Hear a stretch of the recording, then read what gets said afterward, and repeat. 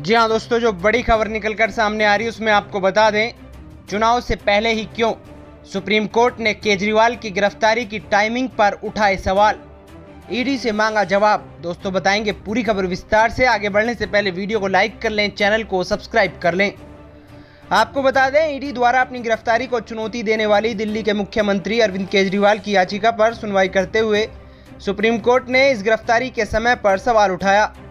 उन्होंने आम चुनाव से ठीक पहले केजरीवाल की गिरफ्तारी को लेकर ईडी प्रवर्तन निदेशालय से जवाब मांगा है। इस बारे में ईडी से शुक्रवार तक जवाब देने के लिए कहा गया है। जस्टिस संजीव खन्ना और जस्टिस दीपांकर दत्ता की पीठ ने सुनवाई के दौरान अतिरिक्त solicitor general S V Raju से कहा, स्वतंत्रता बहुत महत्वपूर्ण है। आप इससे इनकार नहीं कर सकते। आखिरी सवाल गिरफ्तारी के समय के संबंध में है, जिसके बारे में उन्हें बताया गया है। गिरफ्तारी का समय आम चुनाव से ठीक पहले क्यों? पीठ ने राजू से कई अन्य सवाल भी पूछे और ईडी को सुनवाई की अगली तारीख पर जवाब देने को कहा। मामले की सुनवाई शुक्रवार को होने की संभावना है। बुधवार से दोनों न्यायाधीश अलग अलग पीठ में बैठेंगे। इस मामले में लगातार दूसरे दिन सुप्रीम कोर्ट में सुनवाई हुई। अदालत में दिल्ली के मुख्यमंत्री अरविंद केजरीवाल की तरफ़ से वकील अभिषेक मनु सिंघवी ने पक्ष रखा।